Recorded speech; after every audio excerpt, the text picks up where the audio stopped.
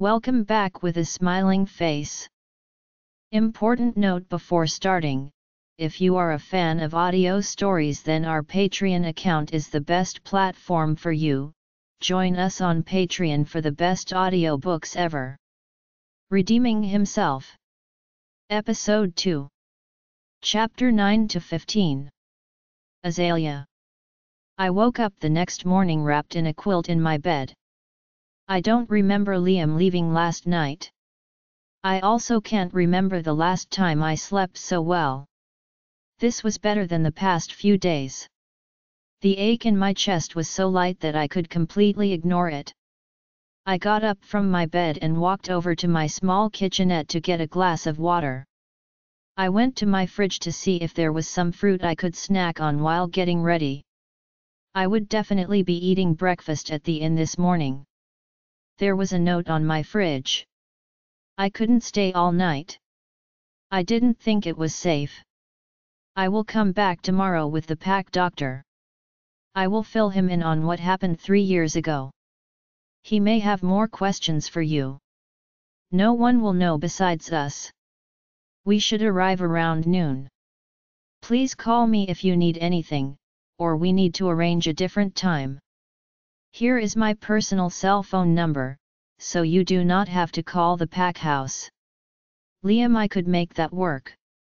I'm sure I had plenty of things to catch up on at the inn, but this was important. I would just get over there and start as soon as possible. I don't mind working late after meeting with the doctor either. A good night's sleep also renews my energy. I don't know why I slept so well with him. Maybe it was his warmth or the slight forest smell that clung to him. I went to my dresser, grabbing some leggings and a loose-fitting shirt along with some new underwear. I went to my bathroom, showering and dressing quickly. I pulled my hair up in a messy bun. I generally do not wear makeup as I never learned how to put it on. I made my way up to the inn and walked in the kitchen door. It was still early enough that Amy wasn't here to start breakfast. I went out to the front desk to figure out what needed to get done today. I set to work cleaning rooms for check-in today, breakfast utterly forgotten with a to-do list now in my hands. Last year for Christmas, Amy got me this neat little thing called an MP3 player that she put music on. I like to bring it with me when I do chores like these, it makes the time go by much faster. After finishing the rooms, I started downstairs. The dining room was full of breakfast stragglers, so I started in the sitting rooms. The inn had two. I moved around the rooms, dusting shelves and knickknacks, wiping tables and chairs, cleaning windows, and vacuuming the rugs. I was not paying attention to the time. I was dusting shelves facing away from the front door when he came in. Of course, I had no idea until, out of nowhere, I felt a hand on my waist and someone's face next to my ear. I froze as he pulled one of the earbuds from my ear. Now don't you look tempting, kitten, his voice said in my ear. Kitten? What? I turned slowly to find myself basically in Liam's chest. When the realization came over me, I jumped back. I moved just far enough to smack right into the bookshelf. Ow! I groaned, grabbing the back of my head. The look on Liam's face went from one of CKY amusement to panic immediately. Azalea, I am so sorry. Oh, goddess, are you okay? Are you bleeding? He asked worriedly. Ow, um, no no. I think I'm okay. Just a bit tender now, I said. Why don't we go to the kitchen and put some ice on that just in case, young lady, an older gentleman said behind Liam. Oh, sure, I said, not noticing the man before. Before I could move, Liam grabbed my hand, dragging me back to the kitchen. Luckily, it seems Amy had left to do the shopping for dinner and wasn't in the kitchen. I did not want to explain this to her yet. When we got there, Liam turned around, grabbed me by my waist, and set me on the prep table. He turned to find the freezer. Right in the door, he found the three ice packs we kept on hand. He grabbed one, bringing it over to me. He stood in front of me, splitting my legs to either side of his hips as I sat on the table. He gently pressed the ice pack to the back of my head as his eyes bore into mine. I am really sorry for scaring you, Azalea. I should have just waited to get your attention, he said. I'm okay. I promise. This probably isn't even necessary. I replied. I reached up to take the ice pack from his hand. No. Just let me, he said with sincerity in his eyes. Why was he trying so hard to take care of me? I have been taking care of myself since I was five years old. Alright, big bad alpha. Let me look at her, came the older man's voice from behind us. Liam growled lowly at him. And hush your growls. You know I will not take any of that.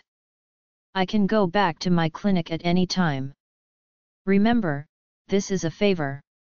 Yes, sorry, uncle, Liam said.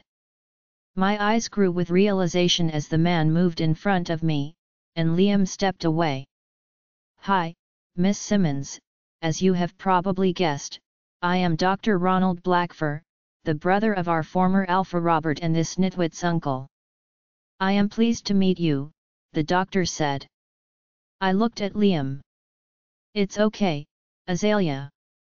Just because he is my uncle does not mean he will tell anyone. No one in the pack knows we are here, Liam said, trying to reassure me. I don't know why but I never thought about him bringing his uncle here. I nodded my head and looked back to Dr. Blackfur. How about you just call me Ron, okay? Now before we get to the pressing matters at hand, let me see that head? I understand that you never got a wolf, so you heal as a human would, he asked as he began to feel the back of my head. I winced slightly as he touched the most tender spot. Well, sort of, I said. My wolf came at 13 just like everyone else's, I guess. Although, we never shifted. But about two months later, she stopped talking to me, I told him with a shrug. He had finished feeling my head and handed the ice pack back to me. Better hold that there a bit longer, he said. That is very unusual for a wolf. On the first full moon after your 13th birthday, how did you feel? Did you feel any shifting in your body, pain in your extremities, anything of this sort? As he talked, Liam came up to my side. He grabbed the ice pack from me and held it to my head. Uh, no, I don't think so. I can't remember, honestly. I told him. I don't even remember my wolf's name. Hmm. Your wolf spoke to you, right? Yeah, she did. Did she ever take control of your body? How would I know that? He turned and looked at Liam, a conversation passing between them that I was not privy to. Liam turned to me with a tight smile. Azalea, when I touch you, what do you feel? Liam asked me. Warmth, I guess. It feels really nice because I get cold a lot. Why? And when Liam rejected you three years ago, what did you feel then? Dr. Ronald asked. I sighed, not exactly wanting to revisit that night. But, this was important, or he wouldn't be asking. Well, I didn't know what was happening. I was already feeling a little sick from the drive. I didn't get in cars often as a kid. I always walked to school. When he said he was rejecting me, it kind of felt like someone was squeezing my heart and trying to rip it from my chest. I couldn't breathe properly for a while either. It was worse than breaking my wrist or ribs, I said. I could feel Liam's gaze on me. I didn't want to look at him. I could not take his pity on top of needing his help. I see, Dr. Ronald said.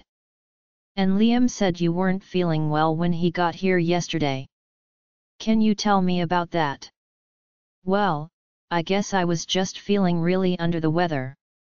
My chest felt very heavy, and my body sort of ached all over. I couldn't get comfortable sleeping either, so I hadn't slept much for a few days. I don't really know why, but my body just started to feel a little better when he hugged me. He is really warm, and it felt nice, I paused. The rest felt a little personal. Dr. Ronald looked from me to Liam. Please go on, Azalea. You seem much better today. I could feel myself blush. I looked down at my hands. Well, I asked Liam if we could just stay like that for a few more minutes. He, uh, he picked me up and laid me in my bed. When he laid down with me, it felt like my whole body was relaxing. He was warm, and my bed was really comfortable. I ended up falling asleep. When I woke up, I was feeling a lot better. Liam and Dr. Ronald looked to be having their own little conversation again. I was probably just drained and overworked. I haven't been taking much time off lately. I also haven't been sleeping well, so I am sure that just Liam being so warm just made me sleepy. My apartment can be a little cold sometimes, I said, looking between them.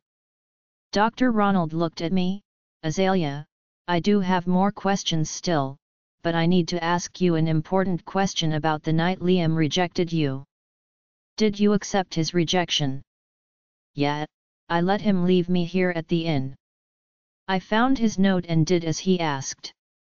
I didn't see a reason to go after him.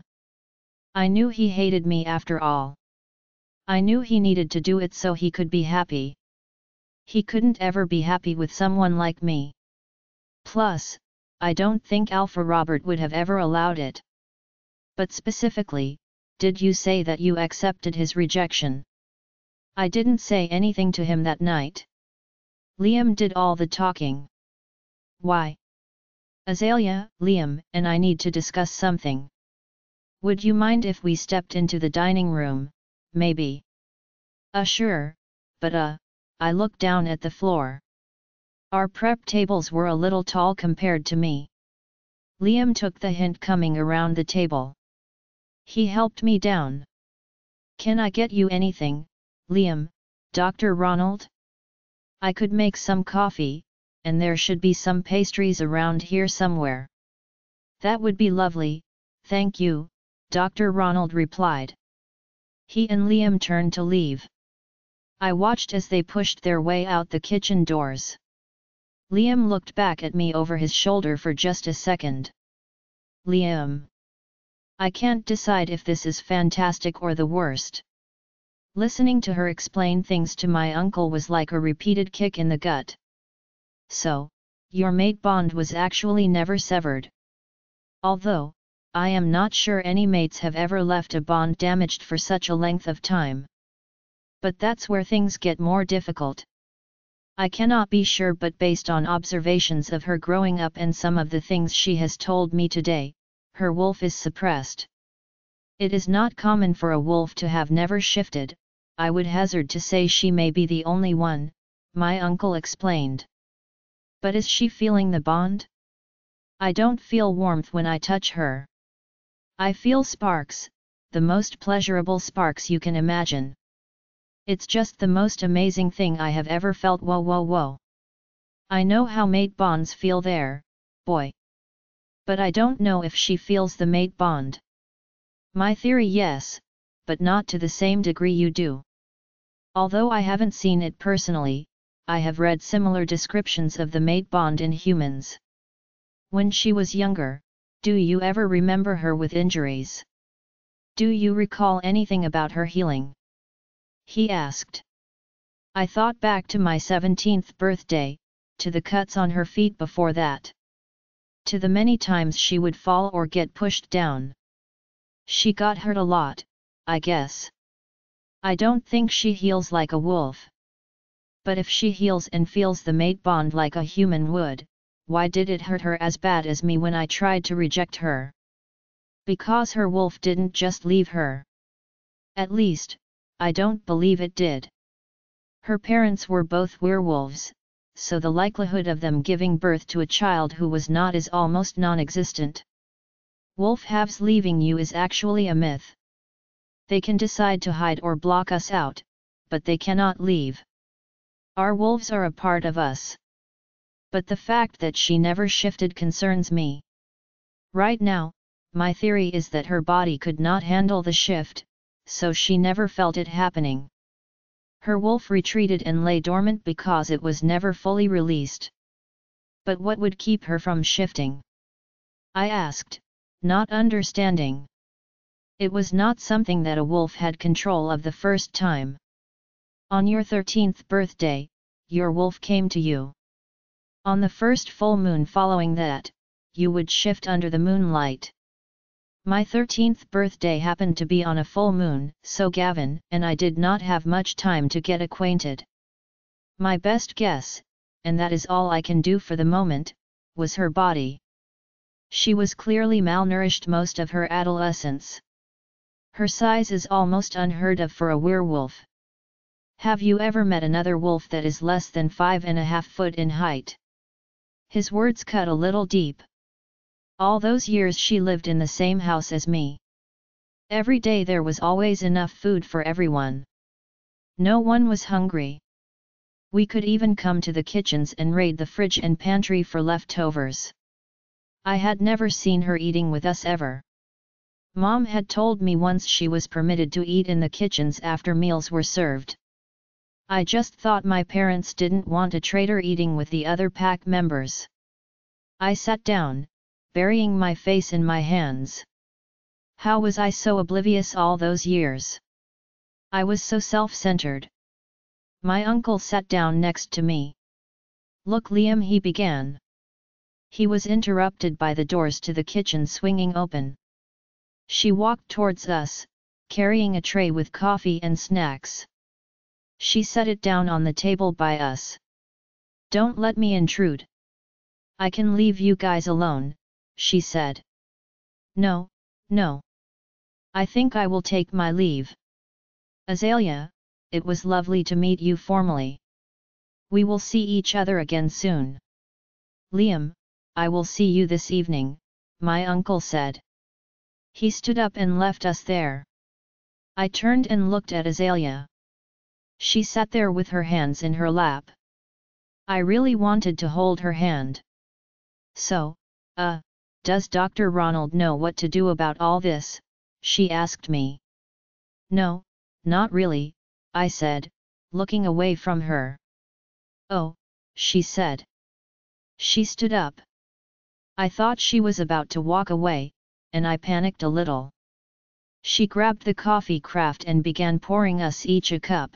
She poured a copious amount of cream and sugar in hers. She handed me the other cup. I looked at the tray, noticing some croissants.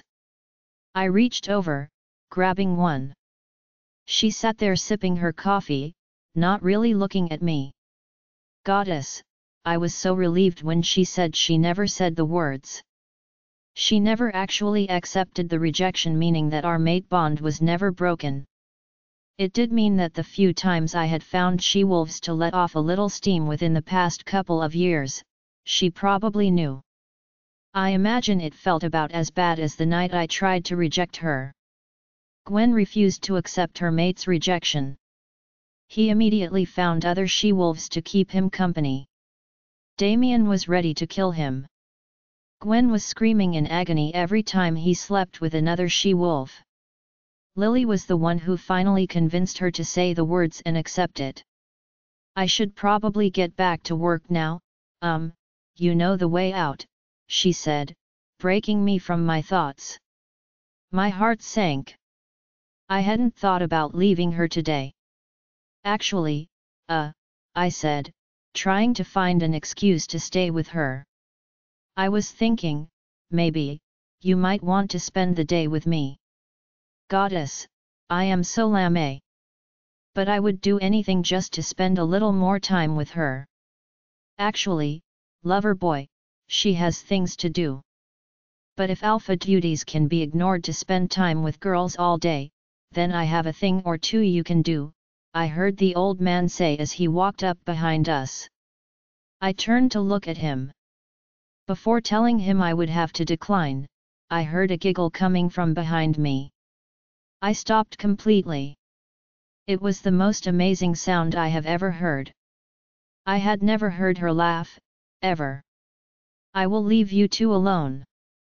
I will be in the laundry room. Bye, she said, dashing out of the room. I could not help but watch her a asterisk s sway as she ran away from me, making my pants tighten uncomfortably. Hey, you stop that now, alpha boy, Mr. Greyback barked at me. I looked at him raising my eyebrow. And what am I doing? Now you're cleaning my gutters, he said, throwing a pair of gloves at me. Ladder is in the shed. I rolled my eyes as he walked away. I guess maybe I could use this as an excuse to have dinner with her later. Chapter 10 Azalea OK Who is Mr. Tall, hot and gorgeous that grumpy greyback has cleaning the gutters. I saw him leaving your apartment last night while I was finishing prep, Amy asked as she bustled around the kitchen making dinner. Oh, please don't start Ames. I said. That is not a can of worms I want to open right now. Well, I am not gonna let you off for much longer. You need to dish. If you are doing the tango with that hunk of man, you have to give me details, she said, wiggling her eyebrows at me. What are you even talking about? Why would we go dancing? Oh, girl. I always forget just how naive you are. Maybe I should keep tall, hot, and gorgeous away from you. He looks like he would corrupt you. And although I am sure you would love his brand of corruption, I don't think you're ready for all that tall, hot, and gorgeous. Liam, okay. His name is Liam. We kinda grew up together, I told her. How do you grow up with that and end up sad and alone? I am not sad and alone. I am just alone and me. Plus, I have you and ABI, I argue with her. She just laughed at me. I give up going back to the receipts I was recording. I was not ready to talk about Liam with Amy yet. I didn't even know what was going to happen. Dr. Ronald did not know what was wrong with this bond thing yet. I sat in the kitchen catching up on the bookkeeping while Amy made dinner. I put my headphones in so she wouldn't feel the urge to continue to badger me for more information about Liam. We weren't expecting a massive crowd for dinner this evening as the inn was only about 50% full right now, and lunch was by far more popular. Amy was cooking up some steak and chicken fajitas tonight, and I could not wait. I had made a cake already this afternoon, and it was ready to serve for dessert. For the second time today, my unsuspecting self felt someone leaning over my shoulder. My earbud was pulled out of my ear, and Liam said, Hello gorgeous, in a seductive tone. This time, he was ready. I jumped so hard that I fell back off my stool. His strong arms caught me, preventing me from falling on my butt. You did that on purpose. I said angrily. So? I really couldn't help it, he said, giving me an adorable smile. You were so focused, it was cute. I blushed, looking away from him. He laughed, setting me down. Uh, dinner will be done soon. Will you be staying? I asked him, trying to change the subject. Do you want me to stay, Azalea? We should at least repay you with some dinner for cleaning the gutters. I do appreciate the help. I can never reach them properly, I tell him. I'd do anything you asked me to, Azalea, he said, looking into my eyes. There was some emotion there that I could not quite read. Well, thank you, I replied nervously. I really do hate ladders. So um, why don't you wash up? It looks like Amy is ready to serve dinner. I'll help her. He nodded but didn't move. After a moment, I said, I guess we could sit together in the dining room if you'd like. He gave me an enormous smile, nodding his head again. This time he turned around and went to the sink to wash up. I sighed, moving over to the counter to grab a tray of food to take out to the dining room. That doesn't look like nothing, Amy said as I joined her in the dining room. I set the tray down on the buffet table. And what does it look like? I said, crossing my arms. It looks like my little Lee has a crush on tall, hot and gorgeous.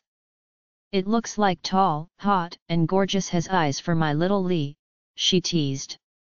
Oh, if only she knew what this actually was. I don't crush anyone. I said, irked with her pestering.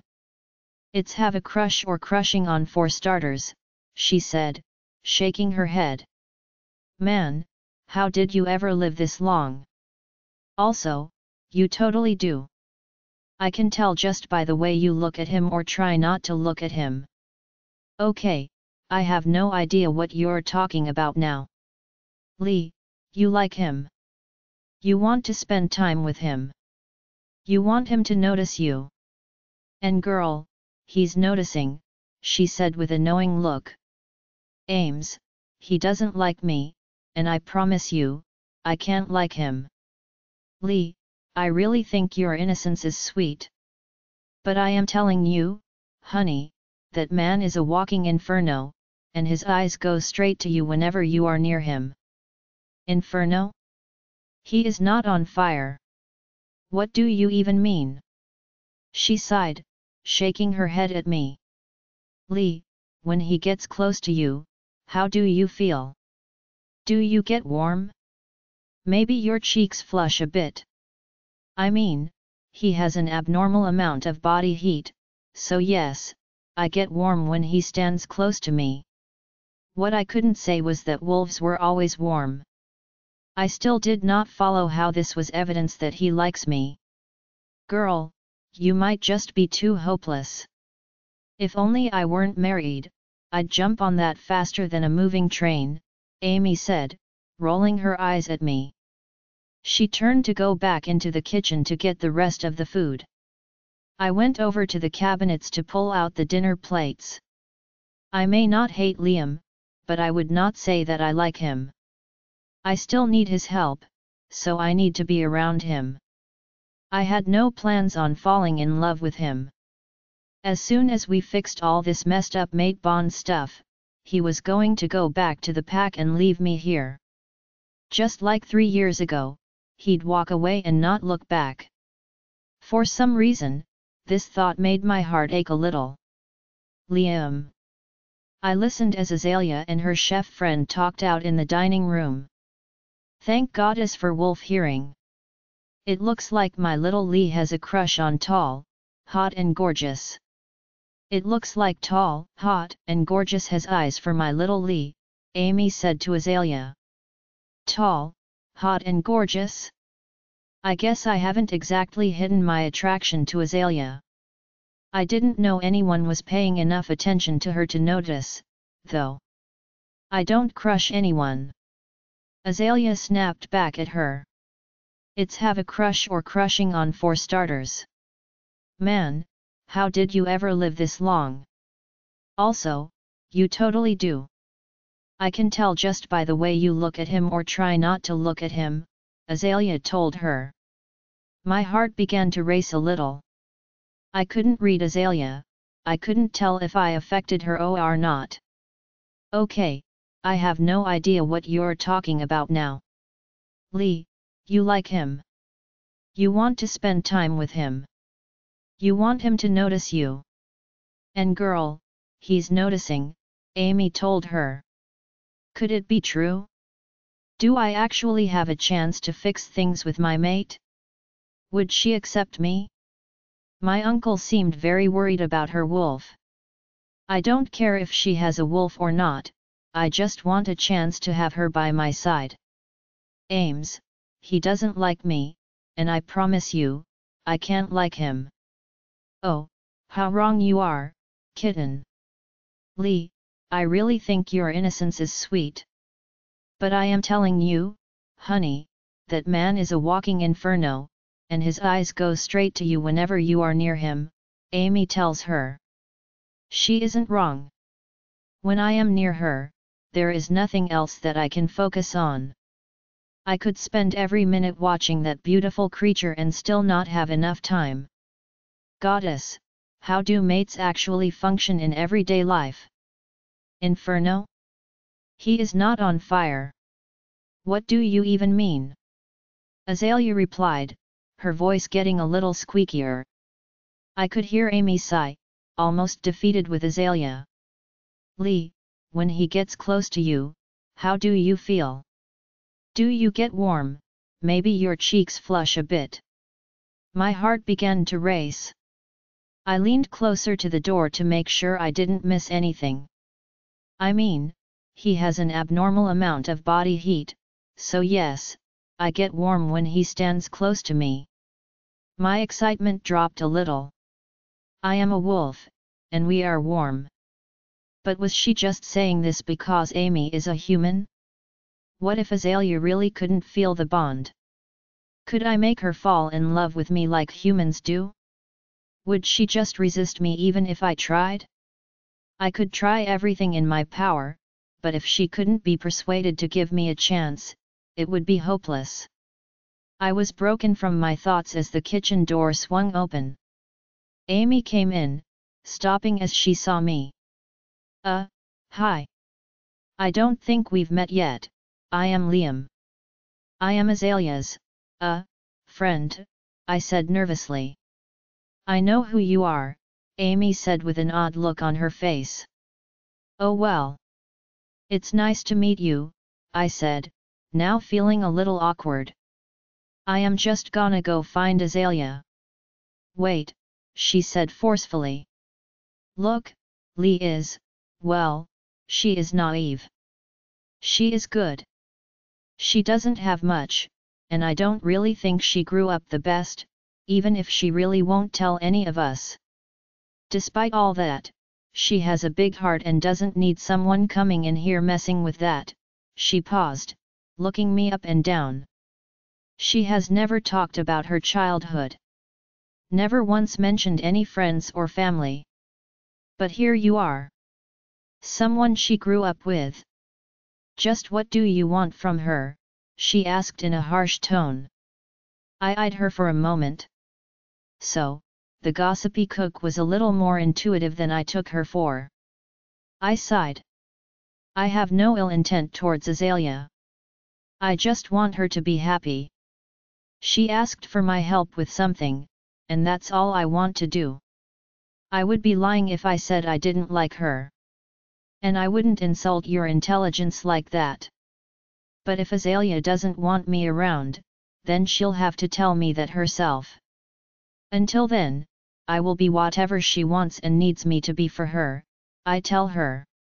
She eyes me up and down for a moment. I am not a cliché type of person, but you hurt her, and you will regret it. She turned and went to the counter, picking up trays of beef and chicken. She turned back around, walking towards the dining room again. She paused, looking at me once more. Look, she's so naive it hurts. She's got no idea that she has feelings for you and probably can't even begin to sort out those feelings. Just take it slow with her.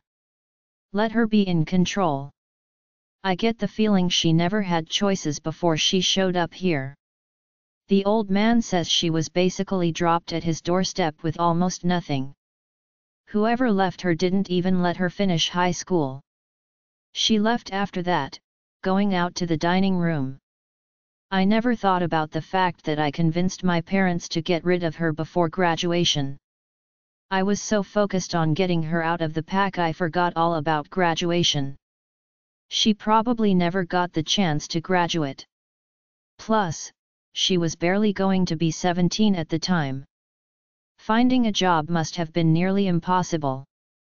The old man probably just took pity on her, I am such a DK. I walk out of the kitchen doors to the dining room. I scan the room and find her, she is greeting guests at their tables.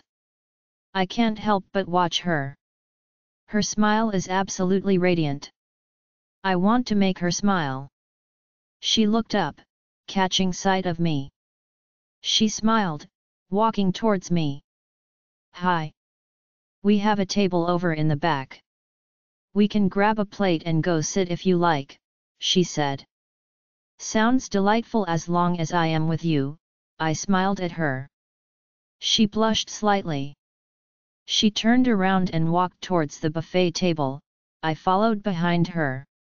We made our plates, and she led us over to a table towards the back of the dining room. We seemed to be away from the other in guests. We sat down and began eating in awkward silence. Gavin decided now was the best time to badger me. Talk to her. Tell her what your uncle said. Tell her she's still our mate, he demanded. No, I can't. She could reject us or just run away. I need to play this slow, I shot back at him. You are the dumbest wolf I have ever met. Just claim her. Maybe if we actually mate, her wolf will come out. He had an interesting idea, but I would never force her to mate with me simply to test his theory, no matter how much my body yearned for her. Hey, you're the wolf here. And I will not force her to mate with us. The more time we spend with her and don't mark her or mate with her, the more likely you will be to lose control. I can't promise our instinct won't win out eventually. I will never hurt her. I will never let it happen. I told him. I don't need to tell you how much of an A asterisk S I have been. She will never be hurt by me again. Okay, well, if you're not gonna talk to her, then let me have control, he said excitedly. So that's what you want? No can do. You are a horny wolf, and I do not trust you with her, I denied him. We're an alpha. Of course, we are horny. It is not just me. You are just wasting our mate time. He complained to me. You are not getting control. Now drop it. I replied angrily. I was so caught up in my argument with Gavin that I had not realized that Azalea was staring at me with curiosity on her face. Oh, sorry. Was talking with my wolf for a minute, I told her quietly. Her eyes grew a little wide. Don't worry, I would never let him out here. She nodded. I really wish I knew what was going on in her head. After a moment, she asked, Do you speak to him often? Yeah, all the time, I answered, a little confused. Oh. That must be nice. You must never get lonely with your wolf to talk to, she said while picking at her food. Sometimes, it's more like a yappy dog in my head that won't stop giving me his opinion, I said. Her face looked a little sad. Do you get lonely, Azalea? I asked. She didn't respond right away. She looked like she was thinking about something. Maybe a little, but it's okay. I just find something to do or a book to read. I am used to keeping to myself. I don't bother anyone this way, she said. Azalea. We sat down with our food. I chose a table in the back, so we were less likely to be overheard. I didn't want any wolf stuff to be brought up around all the humans. I also did not want the inquisitive ears of particular chefs to try to listen to our conversation. We began eating, and I had no idea what to say to him. I didn't expect him to stay after his uncle left. I looked over at him. He did not seem to notice me watching him. It looked as if he was having an argument in his head, and I wasn't sure who the winner was. After a few minutes, he seemed to notice me staring at him. Oh, sorry. Was talking with my wolf for a minute, he said. Oh, I interrupted him. It was probably something important too. I am sure he has all kinds of critical business he needs to attend to, but instead, I am taking up all his time and wasting it with stupid chores like cleaning the gutters. Don't worry, I would never let him out here, he said. Well, I sure hope he wouldn't shift in the middle of the inn's dining room.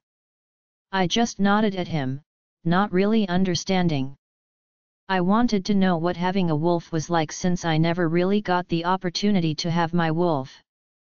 I fought with myself but finally asked, Do you speak to him often? Yeah, all the time, he answered me with a confused look on his face. I guess he wasn't expecting me to ask about his wolf. Oh.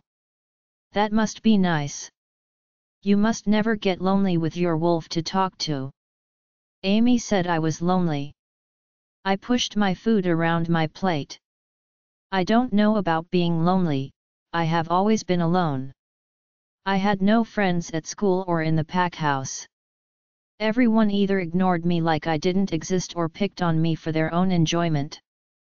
Sometimes it's more like a yappy dog in my head that won't stop giving me his opinion, he said. I mean, having someone in your head that was only yours would be kind of special. A built-in friend that couldn't leave. I guess it could be annoying sometimes, but I bet it was also comforting. I could never admit it to Amy, but sometimes I wished I had friends to spend time with. She was my friend, and there was always ABI, but we were both so busy with the inn. We didn't have a big enough budget to get her a proper assistant, and I was taking more on because of the old man. But sometimes, I wondered if we were friends out of convenience more than anything. Do you get lonely, Azalea? he asked me. Why does he ask me this stuff? He's going to leave again soon, and I won't be his problem anymore. Thinking about him leaving me alone again actually made me sad. Maybe a little, but it's okay. I just find something to do or a book to read. I am used to keeping to myself. I don't bother anyone this way, I said, knowing full well I couldn't tell him the truth. I played with the food on my plate a little bit more before looking out for him. He had a somber look on his face, but I didn't know why. Azalea, I think we need to talk a bit more. There's some things that I think I should tell you even though my uncle asked me to wait, he said, looking around. But we should probably do this somewhere a little bit more private. I nod my head. Why don't we go back to my apartment? That will be great, he said. I got up, grabbing my plate to head to the kitchen to wash it. He followed me, giving me an odd look. That's all you're going to eat, he asked. Before I could respond, I heard, Howdy there, Miss Lee, coming from John, who was walking back from the serving table. Oh, hi John, I said. How are you today? A lot better now that I am talking to you, he said. What are you up to today? Oh, you know a little of this and that, I told him. I hear Liam clear his throat behind me. Oh right, well, I better get going. Please enjoy your dinner. Well, it doesn't look like you finished yours. Wouldn't you want to join me? He asked with a grin on his face. Liam had decided he had enough of whatever this exchange was.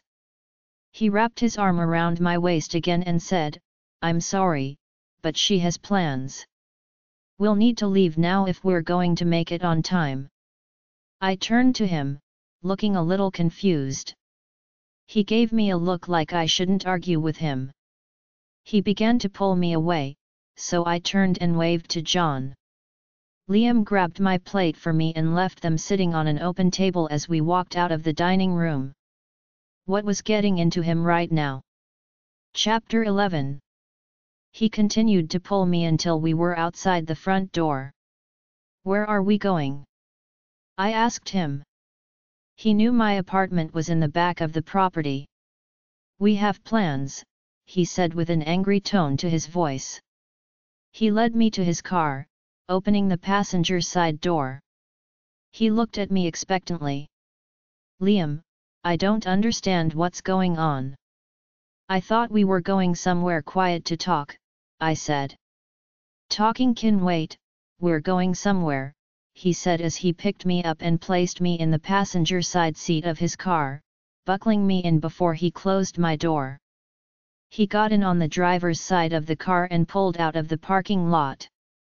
After a few minutes of driving, I realized he was headed toward the edge of town, in the direction of the wolf side of the territory.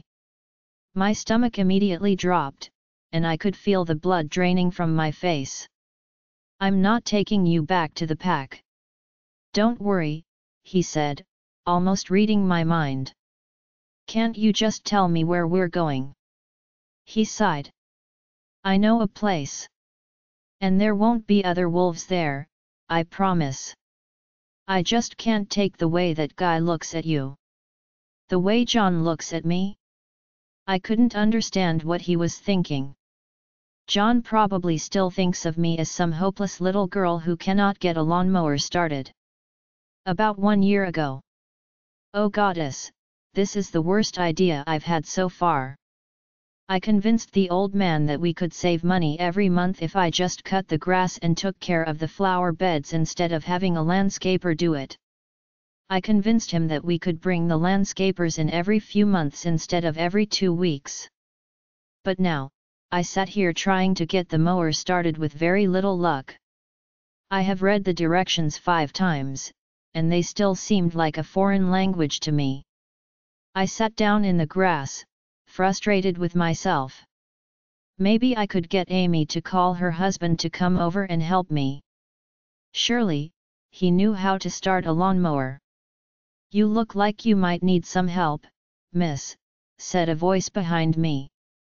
I turned to see a man no more than thirty standing behind me.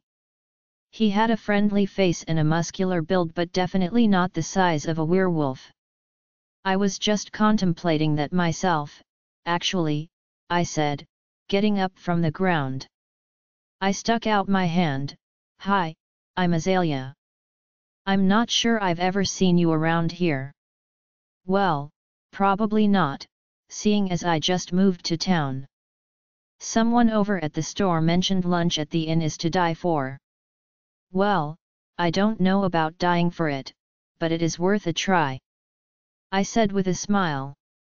Well, in that case, I have a proposition for you, he said. How about you join me for some delicious lunch at this inn and then I'll help you do whatever it is you're trying to do with this lawnmower. What do you say? Sounds like a plan. Follow me, I'll get us the best table, I told him. I took him inside and sat him by one of our windows with a view of the back patio. I told him I'd be right back and went into the kitchen. I washed up at the kitchen sink and told Amy to make sure to bring me out two specials to my table. I went back out and joined John at the table. So, Miss Azalea, what is a pretty young lady like you doing trying to push her lawnmower around? He asked me. Well, I work here. And I may have convinced the owner that we could save a little bit of money if I were to take care of the lawn sometimes. Well, that's awful nice of you. But it didn't look like you were getting very far. Yeah, that's the problem I ran into. I can't seem to get the mower started. Lucky for you, I'm pretty sure that's a problem I can fix for you. I also happen to have some time on my hands, so I wouldn't mind helping you mow that lawn. Oh no. I couldn't ask you to help me that much. If you could just show me how to start the mower, I would be very grateful. Absolutely, it would be my pleasure, he said. Right after our food was brought out, Mr. Greyback walked by the table. Aren't you supposed to be working? he asked me roughly. I'm taking a break for lunch. Don't you worry your pretty little head, the lawn will look great before the end of the day. I told him. And who's this? he asked. This is O, I guess I never got your name. My name is John Henry. I just moved into town. No one moves here, said Mr. Greyback. John chuckled. Well, to be honest, my work brought me out this way, and I thought this little town was pretty charming. HHHMMPFFF, the old man replied and began walking away. I'm sorry, don't mind him. His wife died a few years ago, and ever since then, he's been pretty grumpy. So, I take it, that's your boss. Yep, that's him. He really is a sweet old man. He just has a bumpy exterior, I said with a giggle. We finished our lunch and went back outside. John very patiently showed me how to turn on the lawnmower and work it. He also showed me how to care for it properly. Without all his help, I don't think I would have ever finished. We drove along a little farther towards the wolf side of the territory. The longer we drove, the sicker I was feeling. I tried to look out the window, but it didn't help much. Liam soon turned off onto a dirt road. Um, H how much longer will we be driving? I asked quietly. Liam turned to look at me for the first time since we left the inn. I felt extremely nauseous. His eyes got wide as he slammed on his brakes. In less than 10 seconds, he was out of the driver's seat and opening my car door. The car was still running. As he grabbed me, I felt vomit working its way up my throat. Liam immediately had me out of the car and lying face down over his arm. I started throwing up the small amount of dinner I had eaten tonight. As I vomited, Liam held my hair and rubbed my back. It felt nice. Soon, I had nothing left to throw up. My eyes were watering a little bit. Liam continued to rub my back for a few more minutes before he helped me stand upright. As I stood up, I looked at Liam's face. He had a worried look on his face. He reached his hand up and wiped the tears out of my eyes. Are you okay? He asked. I feel better now, I said. I am really sorry. I forgot that you get motion sick. I shouldn't have made you come with me like that he said. Oh, it's okay. How should you remember something like that? You probably haven't thought about that night since it happened, I laughed half-heartedly. The truth was I thought about that night more than I wanted to admit. He gave me a pained look. With a sigh, he asked, Do you wanna just walk from here? We aren't far now. Um, sure, I said, not excited about the possibility of getting back in his car. Okay, one SEC, he said, running back over to the car. He turned it off and grabbed his keys. He came back around, shutting both doors. Okay, it's this way, he said, pointing towards the dirt path we had been driving on. I nodded my head and motioned for him to take the lead. He reached out his hand like he was offering to hold mine, I paused. I didn't want to get lost in the woods, especially as we weren't too far from where wolves would typically be. I also didn't want to give him the idea that I needed him. Once we could fix this weird mate bond situation, he would go back to his life and be with whoever he wanted while I went back to my life alone. I guess there was no harm in holding his hand this time. I hesitantly placed my hand in his, gaining a huge smile in return. We set off down the dirt road. Liam was so tall and walked so fast that I was practically running to keep up with him. After a few minutes, he realized this and slowed down. Sorry, he said. I am kind of used to people going at my pace. Soon enough, we came to a large clearing with a small pond on the far side. There was a waterfall that fed the pond. Large trees and beautiful flowers surrounded the entire clearing. It was like a scene out of a movie. Wow, I said as I dropped Liam's hand and walked towards the pond. Do you like it? He asked nervously. I turned to look at him, shaking my head yes. He gave me a wide grin back. I walked over to the edge of the pond and sat down, listening to the water flow down the waterfall. Liam sat down next to me. Sometimes, I just need a break, I come here. It's quiet and calming, he told me. It's amazing. I wish I had a place like this, I said, still watching the waterfall. We can come here whenever you like, Azalea, he said, looking at me. I turned my head, meeting his gaze. Liam, what did you want to talk about? I asked, trying to change the subject. His being nice to me was too dangerous. Oh right, that, he said with a sigh. Where do I start? I guess the first thing is that our mate bond was never severed. He paused to gauge my reaction. My heart stopped for a second. How could that be? He rejected me. He broke the bond. He didn't want me. I know, I rejected you. But the thing is, you never accepted the rejection. You never said, I accept your rejection, so the bond wasn't fully broken, he said before I could respond. But I did what you asked. I didn't hate you, and I stayed in the human town. I said, panicking slightly. If the bond wasn't broken, then I am still his mate. What if he forced me to go to the pack with him? I couldn't survive it again. Please, Azalea, calm down, he said, grabbing my hand. I pulled it away quickly and stood up. I can't be your mate. I don't even have a wolf anymore. I have traitor blood, and everyone hates me. I would make an awful Luna. You have to do it again. I'll do it right this time, I said, full on panicking now. Azalea, please. I need you to be calm for a second and listen to me. Yes, I rejected you. I thought it was the right thing to do at the time. I'm not so sure anymore. My uncle isn't sure, but he thinks you may still have a wolf and that the mate bond may be able to bring her out, he said.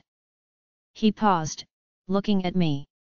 He took a step towards me while I stood rooted to the spot. Azalea, rejecting you was probably the worst thing I could have done. I truly thought the moon goddess made a mistake making you my mate. I see now that I should have protected you. I was young and stupid. Azalea, you aren't a traitor because of your parents. You didn't do anything. You were a child, an innocent child. I don't want to reject you again, he finished taking another step towards me. He was now inches from me. I looked down, not knowing what to say. He didn't want to reject me? I felt his finger under my chin, pushing my face up, so I was looking him in the eyes. Say something, anything, he pleaded. You don't want to reject me. I asked. No, I don't. Then what happens now? That I don't know, he said with sadness in his voice. He reached out, cupping my face in his hand. He wiped away tears with his thumb that I didn't know were falling. Right now, seeing you cry is killing me. I'll do anything to stop it, he said. I laid my head on his chest. I didn't know what to do. He didn't want to reject me, but I could never be his mate. I would never be good enough for an alpha. We stood like that for a moment before he wrapped his arms around my body. Being in his arms felt so good. It almost felt like it was where I was supposed to be. He was so warm, and the sun was setting now, making the temperature drop. Are you cold? he asked after a few minutes. I just nodded my head, not pulling it from his chest. He picked me up in his arms, holding me close to his chest. Let's head back. I'll just carry you, he said, moving back towards the path we took to get here. No, I can walk, I told him, trying to get out of his grip. If I put you down, you'll be cold again. Plus, I am going to guess you don't have wolf senses, and there aren't exactly lights out here, he said. I guess I couldn't exactly argue with him. I must have dozed off as we walked because the next thing, I knew he was buckling me into the passenger side of his car. It's okay, you can sleep, he said. He closed my door and went around the car to get the driver's seat. I let myself doze back off to sleep as he drove. I woke up again as he picked me up out of the car. Where are we? I asked. Back at the inn. I'll take you to your apartment. I nodded my head and let him scoop me up. He carried me around the building and down through the backyard to my apartment. Where is your key, Azalea? he asked, coaxing me to answer him. Flower pot, I mumbled. He adjusted his grip so that he held me in one arm and started feeling inside my flower pot to find my key. When he found it, he unlocked my door, and we stepped inside. He walked over to the bed, still holding me in his arms. He laid me down on the bed, covering me with my blankets. Look, there are some things I have been ignoring for a couple of days now, some things I must take care of. But I want to see you again. How about you call me tomorrow night, and we can talk, he asked. I nodded my head, looking up at him. He grinned wide. Great. I'll talk to you then. And he turned to leave. Something inside of me wanted to ask him to stay, wanted him to keep holding me. But I knew that was selfish. He had things to do, like he said. Just because we still had a mate bond didn't mean I was anything to him. After he left, I crawled out of bed and went to my closet. I pulled out his hoodie and put it on. Tonight, I would need a little extra warmth. Liam. I left her in her tiny cottage apartment and went back to my SUV. I knew I couldn't stay with her. I was a mess right now, and that's not what she needed. Everything she did and every thought of her turned me on. But then she would turn around and give me a look, and I would get lost in her eyes. Every time she cried, I wanted to rip the bastard responsible to pieces, but then I would realize I was that bastard. At least she let me carry her and take her home. I was able to hold her in my arms for that little bit. I got back in my car and was flooded with her scent again. I had turned the heat on for her on our way back to the inn, and now the car was warm with the smell of the most beautiful, delicate flowers. As I drove back to the pack house, her scent was driving me crazy. Once I got back to my room, I knew I would need to take a long cold shower to deal with everything tomorrow. Chapter 12 I ran my hands to my hair as I looked down at the files on my desk. I could not make heads or tails of these reports right now. The alpha of the neighboring pack would be here soon to discuss our mutual hunter problem. Gavin had been an utter DK all day long since I left Azalea in her apartment alone. Apparently, he thought being with her was more important than the pack's safety at the moment. Part of me wanted to admit that I felt the same way, but I had responsibilities as Alpha that I couldn't overlook. There was a knock at the door. Come in, I growled. Gwen opened the door and strutted in. Not now, Gwen. Alpha Langston will be here momentarily, and we have important business, I told her. Oh, Liam baby, you don't have time for me, she said, coming around my desk. I turned my chair towards her. Not right now, Gwen, I don't. You'll have to find someone else to entertain you tonight. But Liam, I thought you were going to be my second chance. You know I am a fun ride, she said, running her hands up and down my chest. I didn't like the feeling. No, Gwen, I'm not, I said. Just give me a minute, Liam baby. I bet you could use a little stress reliever. She leaned over, kissing me, pushing with her tongue to gain entry to my mouth. I pushed her back. She stumbled, falling back to her A asterisk S. Gwen, I said no. Now get out. I shouted. At that moment, my office door swung open, and Damien and Alpha Langston stood in the doorway. I turned to look at them, then looked back at Gwen. She stood up and stomped out of my office. Again, man? She isn't gonna quit, is she? Damien linked me. No. Think your dad or Lily could talk to her. I can try, but no promises. Ahem. I believe we have a meeting, Alpha Langston interrupted. Unless you treat these hunters as a joke? I certainly don't treat the fact that three of my pack members were hunted down just two days ago. No, no, no. Sorry, Alpha. Just some personal business that won't resolve. Please have a seat, I told him. We spent four hours discussing and arguing about ways to handle our current hunter situation. At one point, Damien had to leave the meeting to manage other pack business. We got nowhere and resolved to meet again in a few days. I sighed as I closed the door behind Alpha Langston. If we weren't careful, my pack members would start to drop like flies.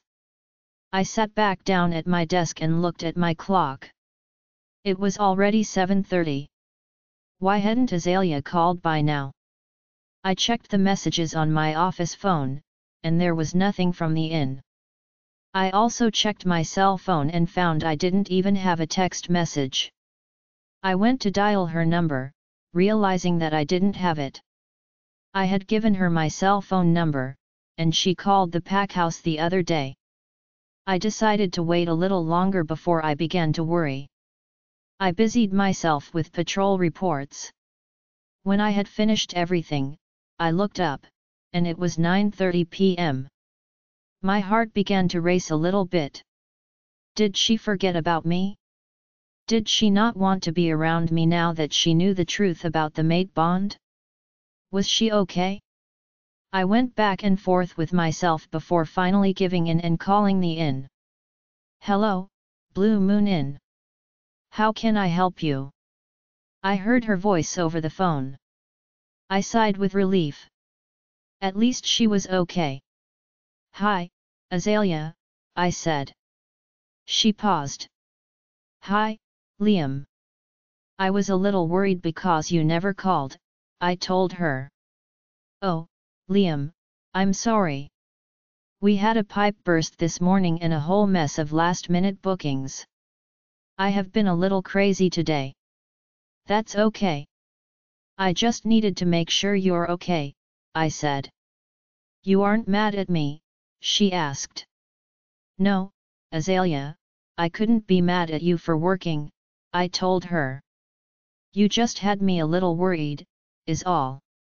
I paused, waiting for her to say something. She was making me nervous. So, did your uncle find anything out? she asked hesitantly. My heart sank a little. She wanted answers so she could be done with me. But I wasn't ready to give up on her. No, nothing yet. He said he would need a few days to do some research, I told her. Oh, okay, she said. In the meantime, maybe we could spend some time together? Maybe if we got to know each other a little better, it might encourage your wolf to come out. Sure, she said enthusiastically. That sounds nice. Just one thing. Anything, I replied. No driving please, she said. This made me laugh. Okay, deal. I think I can live with that, I said, still laughing. I really don't see how that was funny, she said stubbornly. It's not funny, it's just cute. So um, what about tomorrow? I think I could take off after lunch, she said. Great. Why don't I come to pick you up at three? I said with a smile. You know where I'll be, she said happily. Good night, Azalea. See you tomorrow. Good night, Liam, she said. We hung up the phone, and I couldn't think of anything to better lift my mood. We were going on a date. I was going to have a chance to make her fall for me. And the cherry on top of it all, she sounded excited by it. Soon I was going to have to tell Damien why I kept ditching pack duties, but I wanted to keep this to myself for now. Azalea. After Liam had left me in my apartment, something in me relaxed. I knew he wasn't going to hurt me. He wasn't forcing me to go back to the pack. He was just trying to spend time with me on my terms. For now, I would try to enjoy this even if it couldn't last forever. I could pretend I was getting my happily ever after for a little while, right? It felt like there were butterflies in my stomach. Liam would be here in about two hours to pick me up. I don't know why I was so nervous. Part of me was so happy to be spending time. At the same time, another part of me was wondering what would happen when he was done with me. It seemed, for now, the happy part was winning. I traipsed into the kitchen to get some tea before I headed back to my apartment to get ready. Amy was making sandwiches as guests arrived in the dining room for lunch. Well, don't you look chipper? Didn't see you for breakfast, she said, eyeing me. I snuck in early and grabbed a muffin. I wanted to get started early today. I have something to do this afternoon, I told her. Would that something to do be a certain tall, hot, and gorgeous, she said suggestively. He has a name, Ames. And if you must know, yes, I will be doing something with Liam this afternoon, I said with a smile. Does my little Azalea have a crush? she said, teasing me. That I will not justify with an answer. I said, grabbing my cup of tea. Now, I will be in the back getting ready. Try not to need me. I said in a sing-song voice as I left out the back door. I went back to my apartment and sipped my tea for a moment before going to my closet. It was nice out right now, but it could get cool tonight, so I should bring a sweater in case we are out for a while.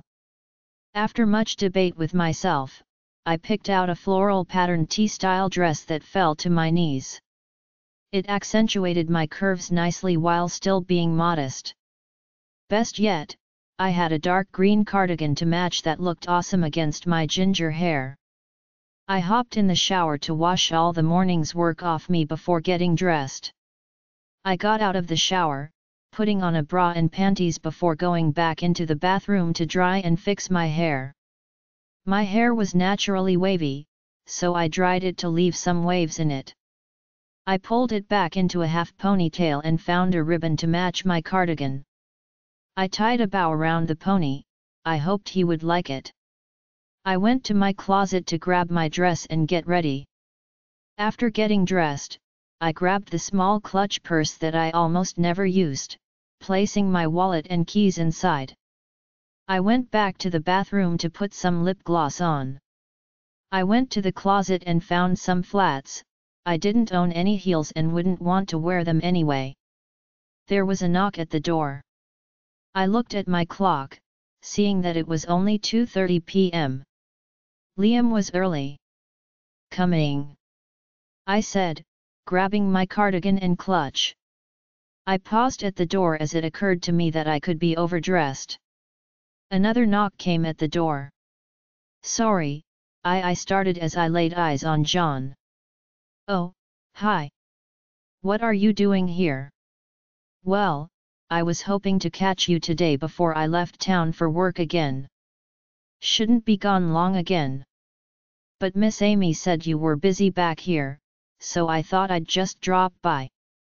That's so thoughtful. But really, you don't have to tell me every time you leave town. Well, Miss Lee, that just hurts me. Here I thought I was your best customer, he said in mock indignation. As I thought about it, I realized that he was at the inn pretty much every day for lunch and dinner. Oh no. I didn't mean it like that. I just wouldn't want to bother you, John. I said quickly. You aren't a bother, Miss Lee. Quite the opposite, actually he was cut off by a growl. I looked behind him to see Liam standing there with anger across his face. Liam I started. I'm sorry, but Azalea is busy right now. You'll have to talk to her some other time, he said in a dangerously low voice to John. My bad. Didn't know you were late for anything now. I guess I will take my leave. I'll see you in a couple of days, Miss Lee, John said, nodding at me with a smile. He turned around and seemed to look Liam up and down before walking back toward the inn. What was he doing here? Liam asked when he was out of earshot. I I don't know. I was getting our ready, and he knocked. I thought it was why you, I said with a hint of panic in my voice. We hadn't even left, and I was making him angry without trying. Maybe I shouldn't be letting my guard down so easily. He blanched slightly and shook his head. I'm sorry. It's not your fault. I shouldn't take it out on you, he said. Here, I brought you these, he said as he handed me a beautiful bouquet of pink and white azaleas I hadn't noticed him holding. Oh, my goddess, thank you. I said, taking the flowers. Come in, I should put these in water.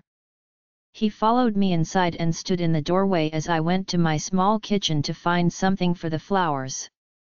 I didn't have a vase, but I had a tall cup that would work well enough. I filled it with cool water then went to the drawer to get some plant food I kept for my other plants. I sprinkled a little in the water before putting the flowers inside. They smelled heavenly. I set them on the windowsill before turning to Liam. Thank you. No one has ever gotten me flowers before.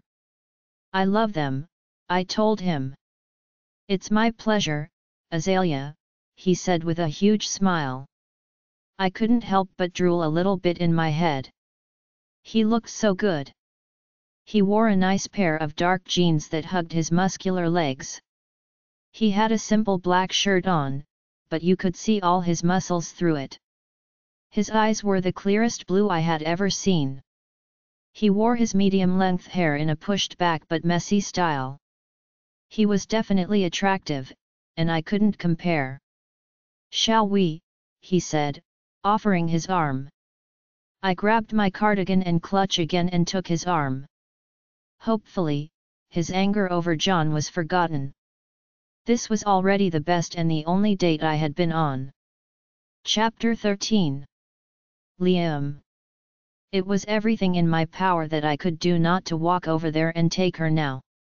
She had no idea how much she was driving me crazy. She moved around her small kitchenette, putting the flowers I got her in a vase. She wore a floral print dress that hugged her body and flowed around her hips right to her knees.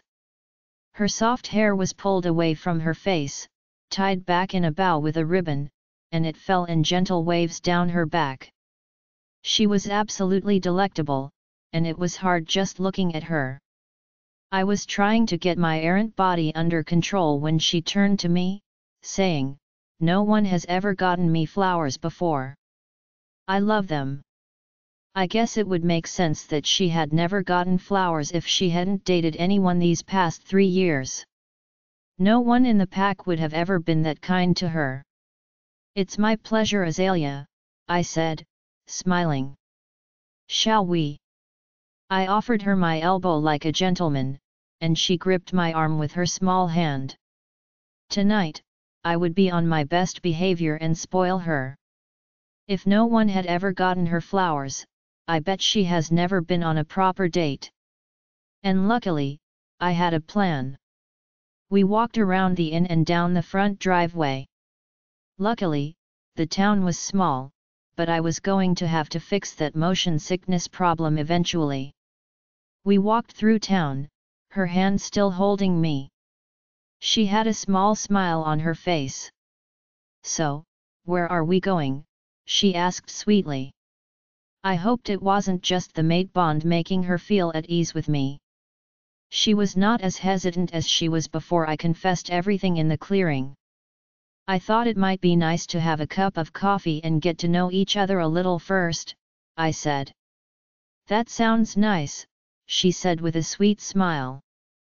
If I could spend the rest of my life making her smile, I don't think it would be enough. Let me talk to mate, Gavin butted in. No, she isn't ready for you. She's barely comfortable with me, I shot back. You're hogging mate. So. She's both our mate. You must share. She doesn't have a wolf for me to bond with. Not now. I said, blocking him out. After a few more minutes of walking, we reached the cafe in the middle of town. I led her to one of the tables on the patio. I pulled her chair out for her, letting her sit down before I scooted it back in. Thank you, she said with a blush. I sat down across from her. A waitress came over to take our order. She immediately began batting her eyelashes at me, but I kept my eyes on Azalea. Hello. What can I get you today? the waitress said, almost ignoring Azalea. Coffee. Black for me. Azalea, baby, what would you like? Coffee, two creams, and two sugars, please, she said, looking at the waitress. And two slices of chocolate cake, I said, eyes still fixed on Azalea. Coming right up, darling, she said, smiling at me and walking away. I didn't fail to notice the seductive sway of her hips out of my peripheral vision. Sorry, sweetheart, maybe two years ago when I was lonely, frustrated, and desperate. Not now that I have a chance with my mate. So, I think she might like you, Azalea said. Who? I said, trying to act oblivious. The waitress. She's really pretty, she said. She was. You don't have to act like you didn't notice, she said, a little sad. Azalea, when I am with you, I don't notice anyone but you. Azalea so, I think she might like you, I said, starting to think maybe this was not a good idea. Who, he said, acting like he didn't notice the waitress. The waitress. She's really pretty, I said. She was. You don't have to act like you didn't notice, I said. He didn't have to pretend, that was just going to hurt my feelings more. Azalea, when I am with you, I don't notice anyone but you. I looked up at him with wide eyes. I think my heart skipped a beat. Azalea, when I said I didn't want to reject you, I meant it. I don't just want to help you get your wolf back. I want to be the mate you deserve. I hope you'll give me at least a chance to try, he said earnestly. I literally could not believe the words he was saying. Why would an alpha want me as a mate?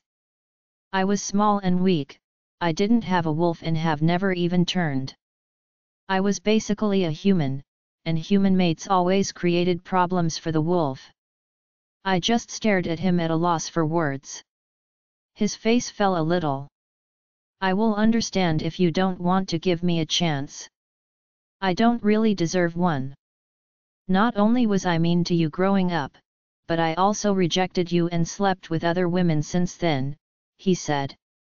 For some reason, that last bit cut deep. He continued, but I would like a chance. Give me a chance to show you I can make you happy. If I can't show you, then I will walk away. I'll reject you if you want, and we can do it correctly. Please, I would really like a chance. It was then that the waitress came back with our coffee and cake.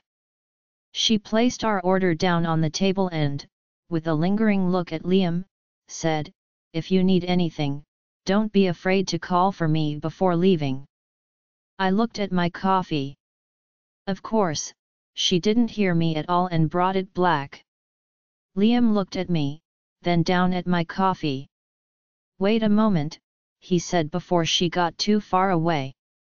Yes, she said, smiling at him. I kind of wanted to punch her in the face. She asked for cream and sugar. Not black coffee. I'd appreciate it if you could stop drooling at me long enough to listen to your customer. If you could bring her some cream and sugar, I would sure appreciate it. Also, this napkin seems to be soiled. We won't need it, he told her, handing her over a napkin that looked like it had writing on it. She got red in the face, nodded at him, and walked away. She returned moments later with some cream and sugar. After she left us alone, I said, Okay. Okay. He replied. Okay, I'll give you a chance, but there's something you should know, I said, hesitating. Yeah, he asked.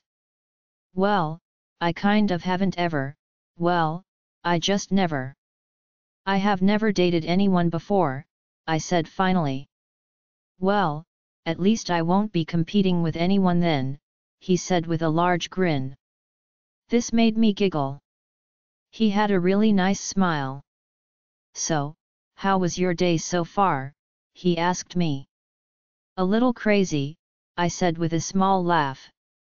I got up early so I could make sure the inn was completely taken care of before I left today. There was a whole lot on my list for today mysteriously. I said, thinking about the old man. I wonder if he was trying to prevent me from going with Liam today. Although, I never told him I was. So, what kind of stuff gets put on your list? he asked with curiosity in his voice. Oh, just boring stuff. I am sure you wouldn't care much, I said. No, I want to know. I want to know everything about your life Azalea, he said earnestly. My heart melted a little bit at this. After that, I went on to talk about my day and my normal duties at the inn. I felt like all I did was talk while he listened. He would ask questions or make little jokes here and there. Before I knew it, Liam was looking down at his watch. Oh no! I am boring you. I said worriedly.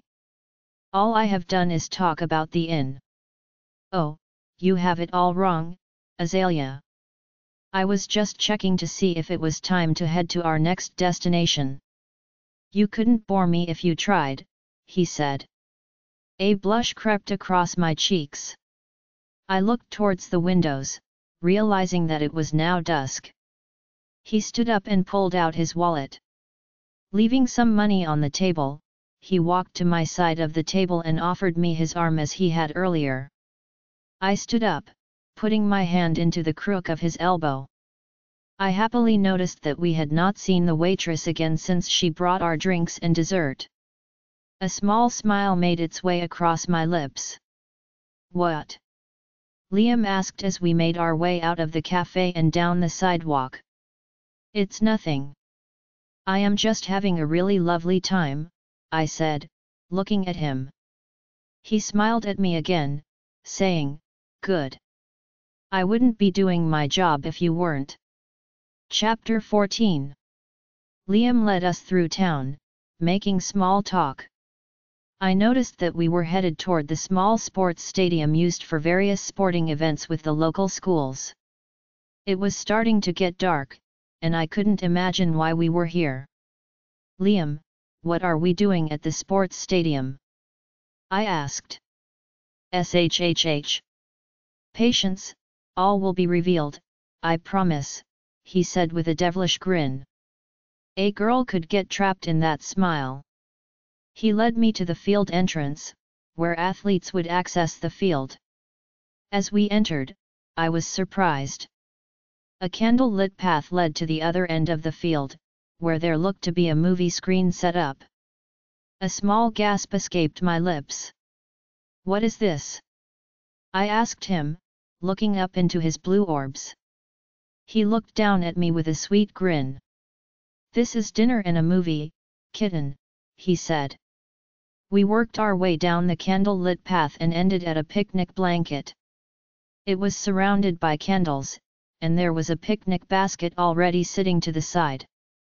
In front of the picnic blanket was a large, outdoor movie screen. We sat down on the blanket next to each other. Did you do all of this? I asked, looking around. Had a little help but yet, he chirped. This is too much. We already had coffee. I said, looking at him. Nothing is too much when it comes to you, Azalea.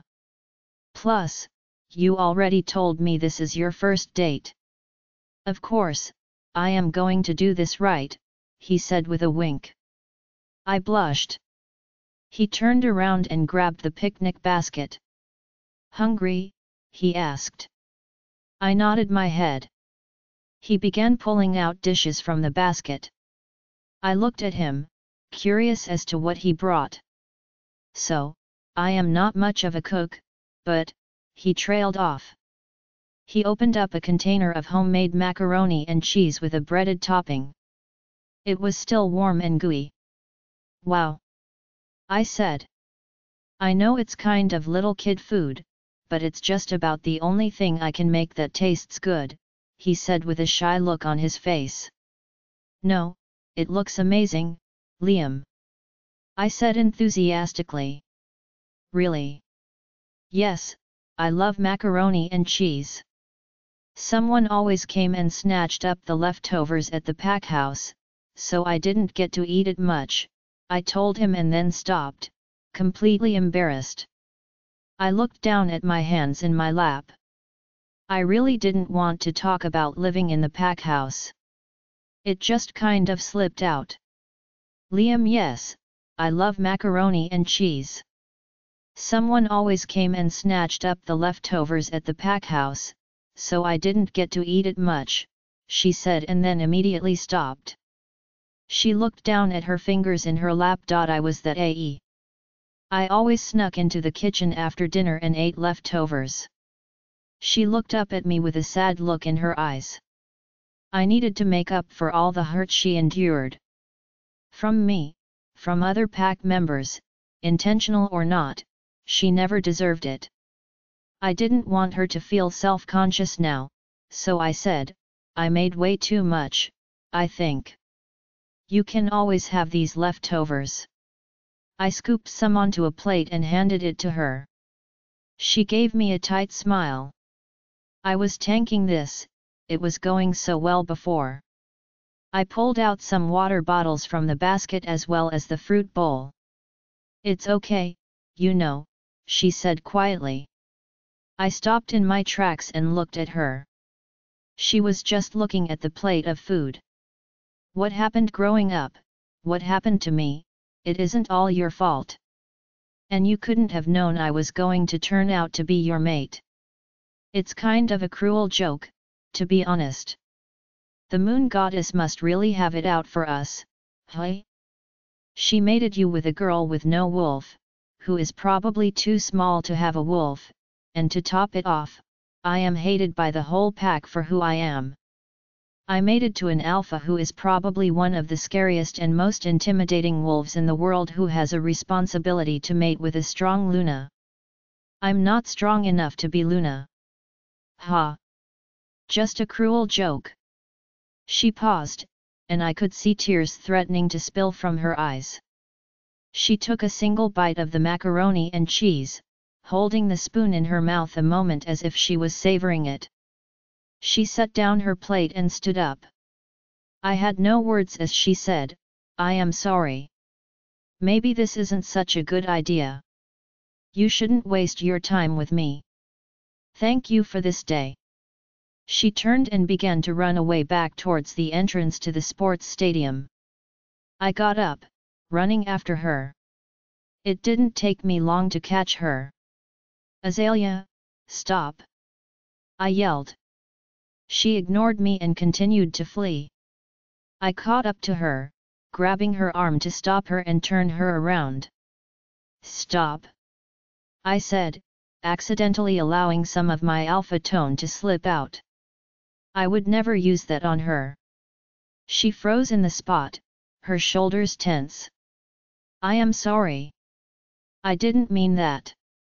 It's just, I sputtered, trying to find the right words.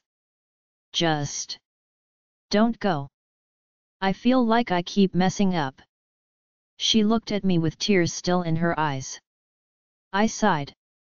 I know you didn't have the best time in the pack, and I hate that. I know you don't blame me because I asked you not to when I left you here. But I am to blame here. I was the future alpha, I was supposed to look out for my pack members. I was supposed to lead them. I should have been nice to you, not let everyone be so mean to you. There is no justification for my actions. When I realized you were my mate, I felt terrible. I knew I had messed up. I convinced my parents you needed to go because I thought I was protecting you. I thought if I rejected you and sent you away, you could have a better life. I knew I would probably never find another mate, and that would be my own punishment from the moon goddess. I looked into her green eyes. They were wide but not in fear. I know I can't erase the past. And I hope someday you can maybe tell me about the things I don't know. Now, I want to make up for it. I want to make your life a little bit better, your days a little brighter. I want to be the reason those beautiful pink lips smile. I want to be the shine in your magnificent green eyes. I want to get to know you and spend time with you. I don't want to remind you of the past. I want to make your dreams come true. I think finding out we are still mates is the best thing that has ever happened to me. I took a step closer to her, and she didn't move. We were only inches away from each other now. I reached down and grabbed her chin, tilting her sweet face up to mine. Please come back and eat with me. This has been the best night of my life, and I never meant to hurt you. She looked at me for a moment, searching my face for something. She nodded her head ever so slightly and whispered, Okay. I stood there for a second, just looking at her delicate features. She was breathtaking even when she was crying. Do you forgive me? I asked her quietly. Yes, she whispered. She relaxed a little, but I didn't let go of her face. Her beauty transfixed me. Move, you, Gavin said in my head. I let go of her chin and stepped aside so we could walk back to the picnic blanket. As we began walking back, I felt her hand hesitantly work its way into mine. I gripped her hand lightly, not wanting ever to let it go. I wondered if I could still save the evening. I wanted so desperately to change her mind about being my Luna. Chapter 15 Azalea I think finding out we are still mates is the best thing that has ever happened to me, he said. His eyes bore into me with sincerity. He stepped closer to me, he was now only inches away, and I could feel a pull towards his inviting warmth. Part of me didn't want to run away, part of me wanted to just melt into his arms and forget everything else existed. But how long could we ignore reality? He reached toward me, gently grabbing my chin and tilting my face towards his. Please come back and eat with me. This has been the best night of my life, and I never meant to hurt you, he pleaded. I looked into his eyes, trying to figure out why he was trying so hard. I was being silly, I knew I was being silly. Here he was giving me the best date of my whole life, and I was trying to get him to reject me. We were having such a great time before I messed it up. Okay, I whispered as I nodded my head ever so slightly. He seemed to relax just a bit as I agreed. He still didn't move his hand from my chin. Do you forgive me? he asked softly. Yes, I whispered again. Still, Liam held onto me. After a moment, he seemed to snap out of his trance. He released my chin and stepped to the side so I could lead us back to the picnic blanket. I began walking with Liam right beside me. Hesitantly, I reached for his hand. He let my small hand grasp him before holding it lightly. I didn't want to tell him how comforting it was when he grabbed me, even just my hand. I have never felt so secure with anyone and never expected to feel so safe with him. Was this our mate bond? We made our way back over to the picnic blanket. We sat down, and he looked at me before asking, Um, are you hungry, or would you like to start the movie? I'd love to have some macaroni and cheese, please, I replied quietly. My pleasure, he said, more encouraged now.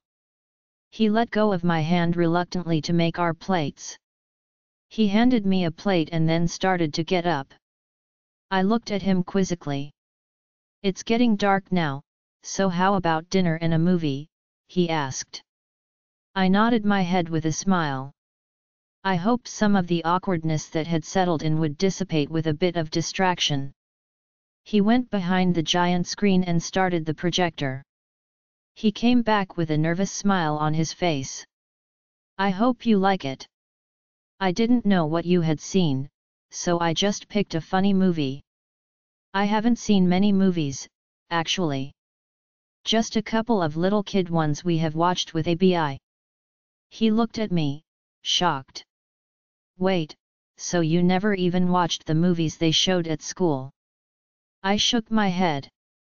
No, I either did my homework or took a nap. Unless they were educational films that we were being tested on. Not even like on weekends or during holidays, he asked. I stared at him with my head CD. Did he really think I spent my time doing as I pleased? After a few minutes of not having an answer for him, his eyes widened in understanding. Oh! Well, uh, he started. It's okay. I always have preferred books anyway, I said to spare him the awkwardness. I didn't want to make him feel bad about what happened to me while living at the pack house. I looked down at my plate and started eating. This was really good. Far better than anything I can cook. As the introduction music started on the movie, Liam looked at me with sincere eyes, Azalea, will you tell me about it sometime? About growing up in the pack house? I know we didn't have the same experiences, I want to understand. He looked at me hopefully. I sighed. Sure, I said, not exactly thrilled at the thought of reliving my childhood. Maybe one day I could tell him. Thank you, he said. With that, he turned his attention to the screen. The movie began, and we fell into a comfortable silence eating the dinner he made. When we finished, he took our plates and placed them back inside the picnic basket. It was now completely dark out, and the only light around us was the movie screen slightly illuminating our lounging forms. I began to shiver slightly, realizing the temperature was dropping. Are you cold? he asked quietly. Just a tad chilly, I said. Here, he said, reaching next to the picnic basket to produce a blanket. He scooted himself closer to me, wrapping the soft blanket around my shoulders. Thanks, I said, blushing slightly. I had almost ruined tonight over something silly when Liam had tried so hard to make this night perfect. I began to feel guilty about trying to leave earlier. Are you warm enough? he said, breaking me from my thoughts. Yeah, I am great now, I replied, a small yawn escaping my lips. I was so excited all day that I was now much more tired than I realized. Catching my yawn, he adjusted himself even closer to me. This time he scooped me up, placing me right in his lap between his legs. He laid my back to his chest, wrapping his arms around me. I yelped in surprise as he lifted me but immediately relaxed when he wrapped his arms around me. He leaned his face next to my ear. Is this okay? he asked, his hot breath fanning the side of my face. It sent pleasurable chills down my spine. Yet, I managed to squeak out. His proximity alone was starting to have an effect on me, one I wasn't sure if I should revel in or be terrified of. I felt him smile next to my ear. He moved his head, placing his chin on the top of my head as we continued to watch the movie. I had to admit, he was comfortable to sit with. Not only was this blanket soft, but his body blocked the wind from hitting me, and his warmth invaded me from behind, creating the most relaxing atmosphere. I could also smell him, on the blanket and around me, as we sat cuddled together. The fresh forest scent invaded my senses in an almost sensual way. It wasn't long before I could feel my eyes droop, and my body relaxed further into his. He must have noticed because I could hear his low, gravelly voice in my ear again moments later. You're going to miss the best part, Azalea, he said. Then he lightly nibbled on my ear, waking me right up. The smallest of moans escaped my lips at the pleasurable feeling of his lips on me. He chuckled. So, I do affect you. UMM, I said, not knowing how to answer. He reached his hand up to my chin and turned my face to the side to look at his. You are in control here, kitten, he said. His eyes held nothing but sincere promise in them as he peered down at me. Say the word, and I will kiss you, touch you, anything you want. My cheeks flamed as I swallowed audibly. A smile crept up across his lips. Okay, I said. Okay what, kitten, he asked into my ear, his breath hot on my neck. I don't know what was coming over me, but I had this sudden need to be closer to him. My mind began racing while wondering what his lips would feel like on mine. I never felt this way before, and it made me blush even harder. My face was probably as hot as he was right now. Kiss me, I said in the quietest voice possible. I could feel his face break into an even bigger smile. He raised his hand to my cheek, gently caressing it and coaxing my head to turn to the side. From behind me, he pulled my face to his and slowly closed the distance between our mouths. Slowly and gently, he pressed his lips to mine. It was like fireworks had erupted in my face and sent pleasurable little explosions radiating through my body. He gently moved his lips against mine, coaxing me along. A small moan passed through my lips, and he used the opportunity to invade my mouth with his tongue. Our tongues mingled as he probed every inch of my mouth. He tasted divine, and I knew that I could lose myself in him. All too soon, he pulled away. Without opening my eyes, I pouted and whined a bit at his lips left mine cold and wanting. Without warning, I felt my shoulders being jostled. I opened my eyes to see only the movie screen in front of me with credits rolling. Oh no! Had I fallen asleep? I heard a chuckle from Liam. I turned my head to look at him behind me. What? I questioned. Nothing, you just dozed off is all. It was actually pretty cute, he said, still chuckling at me. My cheeks reddened at his words. I had fallen asleep and dreamed about kissing him. What was wrong with me? I turned my face away from him, trying to hide my blush. Sorry about that, I said timidly. It's all right. As long as I didn't bore you to sleep, he said lightly. No, no, no. I said quickly, turning around to face him. I was just warm, and it was really comfortable. I trailed off before admitting how being in his arms felt. A small, sweet smile graced his lips. Well, I am happy to be your pillow any time. Thanks, I said with a small smile. He knew all the right things to say.